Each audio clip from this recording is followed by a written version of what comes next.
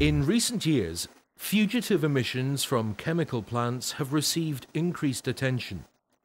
This has been driven by environmental and legislative pressure, by the desire to achieve cost saving, and in particular by the introduction in the United States of legislation for the monitoring and the control of emissions.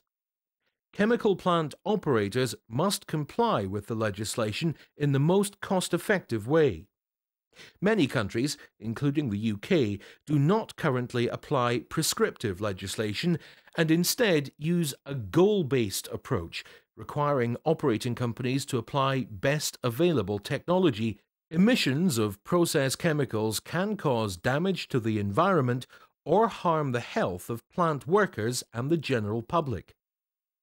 Emissions also mean financial loss to the operating company.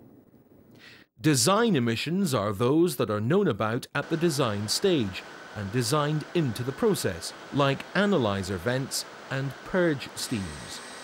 Fugitive emissions are not anticipated and can occur wherever there's a seal between the process fluid and the external environment, for instance at flanged joints, valve glands, and pump seals.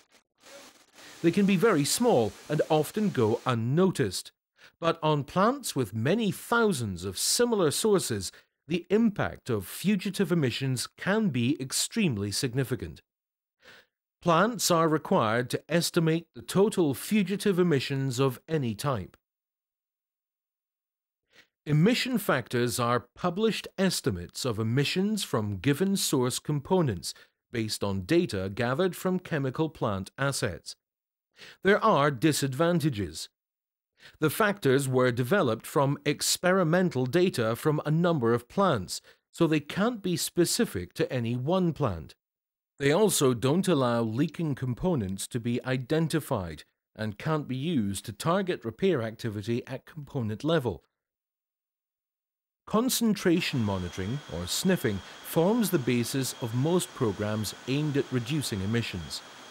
It measures the concentration of the process fluid in the atmosphere close to the component being monitored.